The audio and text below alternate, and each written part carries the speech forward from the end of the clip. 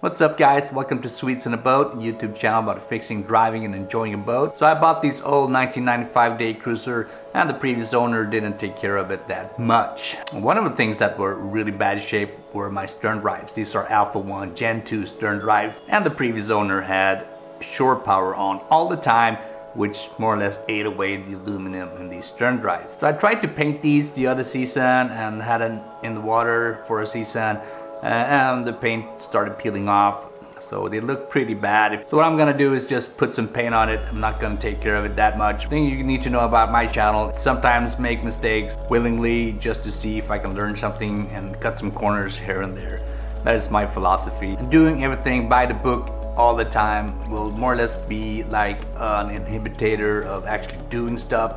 If you look at something and see that's super complicated, that would more or less keep you from doing or starting projects. So I'm like twisting that around, trying to do, take like a lot of shortcuts just to make it happen, get done, get it going. And of course I make mistakes in what I do, but it's, hey, it's on me, it's my mistakes. I just buy new material and try again. That's what I'm gonna do in this episode is that I'm gonna paint these stern drives once again but with the Quicksilver original OEM paint. Um, probably won't do that uh, groundwork really good but as you can see these stern drives are in pretty bad shape. What I'm gonna do in this episode is to remove the anodes I'm gonna degrease them and then I'm gonna polish them or sand them uh, get that loose paint off then degrease them again put some masking on it on some screws here and there just slap some paint on them and see what happens. So I think it's gonna be pretty good, you know, but you know, we will not know until uh, next season is over and the boat comes out of the water. Uh, let's see how that would work if I have to do this a third time. So let's get into it.